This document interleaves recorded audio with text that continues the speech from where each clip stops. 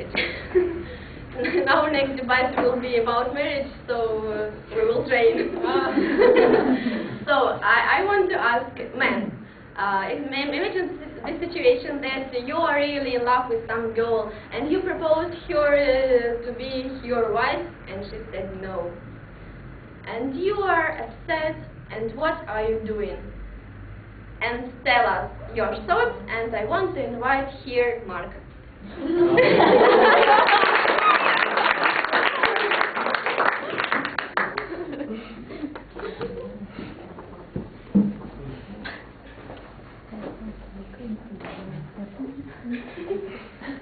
Thanks for the question.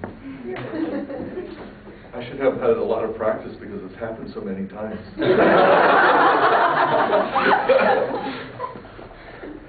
so, I was just rejected.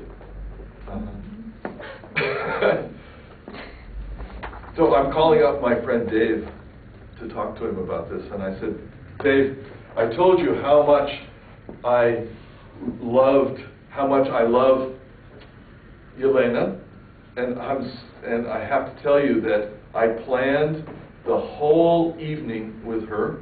I was going to propose to her. I really wanted to marry her. And she said no. Now, we had a whole plan for this. Uh, I had a whole plan, but she didn't. and her plan, it turns out, is that she's decided to marry somebody else. And all this time, she's been going out with another guy, and I didn't know. And I didn't get the messages. I didn't understand. And I thought for sure she was interested. What did I do wrong? Now, we've been friends for years, so you have to tell me what, what did I miss? What clues were there that I didn't get? Because obviously she didn't really love me.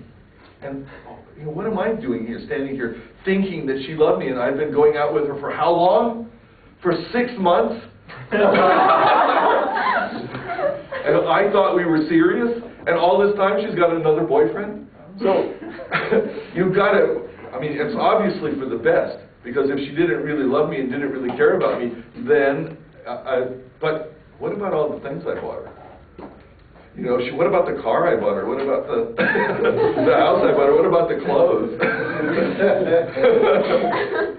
she played me for a sucker, didn't she? Uh-oh.